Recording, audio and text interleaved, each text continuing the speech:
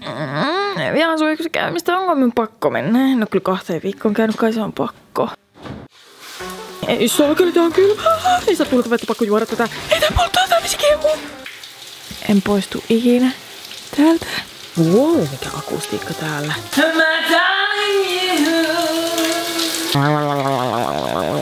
Mutta täällä on naamapuistus aina loppu. Neljättä viikkoa. Siis tää on ihan varmasti sitä samaa ainettua eri purkissa. Eiköhän tää käy suihkukeelistäkin. Ei vaan tarvitse availla kaikkia purkkeja. No niin, nyt on kyllä varmasti kaikki shampoo saatu pois. Ihan jotenkin raikas olo. Tuosta pyydettä.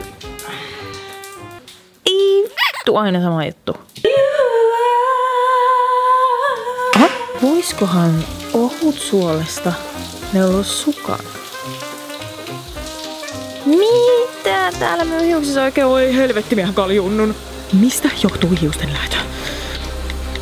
Minä arvasin, tää on syöpä.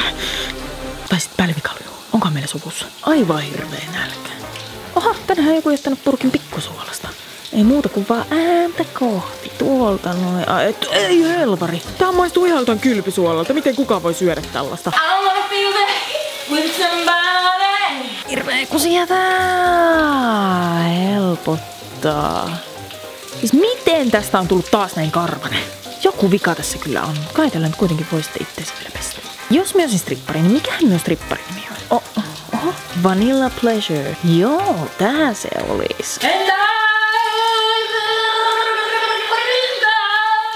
Varovasti, varovasti. Ai, uh, pikkuhaava, pikkuhaava vaan. No niin, jatketaan.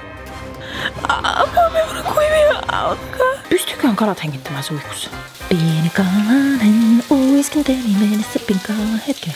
Täällä ei tunnu pulssi. Aloitetaan elvytys. Yksi, kaksi, kolme, neljä, viisi, kuusi. Puolus. Puolus. Toinen. Yksi, kaksi, kolme. Paljonhan räässä on hiilareita. Mikä tuli? Mä oon varma, että mä kuulin rasauksen. Onko täällä jotain muita? Mitä ne oikein meinaa tehdä? Punainen koodi, punainen koodi. Me saippua silmässä, me kuollaan kaikki.